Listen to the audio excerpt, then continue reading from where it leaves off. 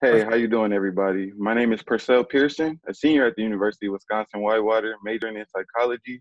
And today I'm here to talk to you all about racial bias in the news media and its impacts on African-American male self-image. In our current society, we often do not get the chance to interact with those outside of our communities. And so we rely on news media to give us a lot of our ideas about people different from us. Prior research into news media, such as Arendt and Northup 2015, have shown that news media can be racially biased in a select number of ways, including the context in which they describe offenders, as well as the overrepresentation of African American males as criminals. This is a problem because it impacts news viewer judgment as well as perpetuates the stereotypes of um, criminality in African American male populations. As stated before, sometimes we do not get the chance to interact with those outside of our community. And so there can be a tendency to over rely on news media for our certain ideals about different communities. These ideals are such as the idea of the African American male criminal, as well as the white male authority figure or police officer.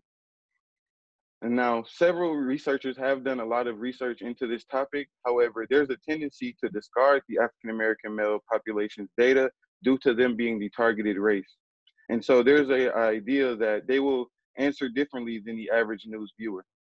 For my study, I plan to look directly at this data of the African American male through both a survey and a focus study in which there will be topics of racial bias and its impacts on African American males' daily lives. From this research, I hope to get a better understanding on the African American male population in both ways that they are um, addressing some of these ideals as well as the resiliency factors that can come out of it. Additionally, this understanding of the African American male psychology would be used to help news viewers inoculate themselves from different racial biases in the news media because the more we know about the stereotypes and the racial biases, the less of an effect they have on them. And now one major way that this data could be used in real world applications is through the interactions between African American males and police officers. In our current society, we see a heavy topic on the ideas of police brutality. And so we know police officers are also additional viewers of the news media. They're not exempt from some of the subconscious biases that come from news media. And so giving them a better understanding of the population in which they will work with in the future would create hopefully less negative interactions between these two populations and more positive interactions. Instead of being interactions of those between lawmakers and lawbreakers, we could hopefully change this into an interaction of people in which the situation and context matters. Thank you so much for listening to my ideas and my speech. I will take any questions now. Great. Thank you, Purcell. No problem. Judges, any questions? I, I, yeah, I have a question. It's it's a great, it's an interesting project, and you you articulated it well. Uh, I, am curious how the current crisis has informed, if it has, and how it's informed how you plan to move forward with your project.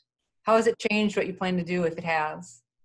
Great question. So I actually have started my research before um, this current crisis and uh, police brutality. And so originally I got the idea through some of the changes in my own behavior. So if I was driving a car, I would take down my hood to look uh, less threatening. I might go into a store and remove my do rag, which is a uh, head wrap that helps me with my hair. Um, and so that's where I was originally coming from. However, I've started to see the more broad scale applications as I've started to see more of the situation around the world. Uh, we started to notice that even outside of the United States, they have started to address police brutality against African American males and the African American community as a whole. And so I think that it just helps me to broaden my horizons and understand that I don't have to only limit this to African Americans, and I can also broaden this to um, people of color all around the world. Um, for your um, for your survey, where will you um, where will you go to look for the subjects of your survey? How will you find those people?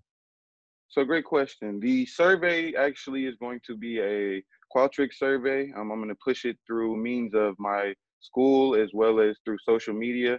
And the original survey is going to consist of male participants of any demographic, any race.